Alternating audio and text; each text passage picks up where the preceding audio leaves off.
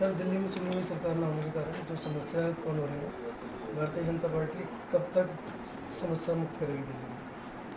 Bharatiya Janata party का प्रजातंत्र के अंदर अटूट विश्वास ही नहीं है। ये उनका एक केंद्र बिंदु है। आपने देखा होगा, भारतीय जनता पार्टी ही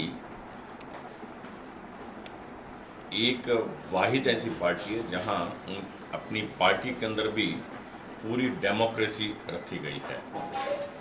चुनाव होते हैं। हर तीन साल के पश्चात मेंबरशिप नहीं होती है, चुनाव होते हैं। इसलिए भारतीय जनता पार्टी का हमेशा ये लक्ष्य रहा है और आज दिल्ली के बारे में भी है कि यहाँ पर जितनी जल्दी हो सकेगा, एक पब्लिक की चुनी हुई सरकार यहाँ पर बने। किंतु इस निमित्त आज बॉल जो है वो एलजी की पाले में है, क्योंकि जब विधानसभा को सस्पेंड किया हुआ है, इसका अर्थ ये है कि एलजी महोदय ने असेंबली को डिज़ोल्व नहीं किया है, सरकार ने डिज़ोल्व नहीं किया है। इसका अर्थ ये है कि लेफ्टिनेंट गवर्नर हर भरसक प्रयास करेगा पॉपुलर गवर्नमेंट बनाने के लिए, उसके लिए हर पॉसिबिलिटी एक्सप्लोर करेंगे। वो इस प्रकार की एक्सरसाइज कर रहे हैं और वो एक्सरसाइज करने के पश्चात विभिन्न पॉलिटिकल पार्टीज़ को बुलाएँगे जैसा जिस प्रकार का निमंत्रण होगा, उसके पश्चात हमारी पार्टी तय करेगी उनका इसके अंदर क्या रुख रहेगा। दिल्ली के इन हालातों पर सीधे तौर पर जिम्मेदार किसे मानते हैं?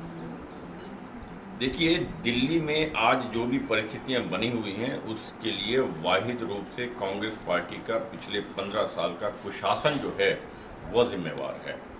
आज दिल्ली में बिजली या पानी की जो समस्या है, उसके लिए पूर्व की पंद्रह साल की कांग्रेस शासन जिम्मेवार है। कभी पंद्रह बीस दिन महीने के अंदर ये स्थितियाँ नहीं बदला करती कभी भी।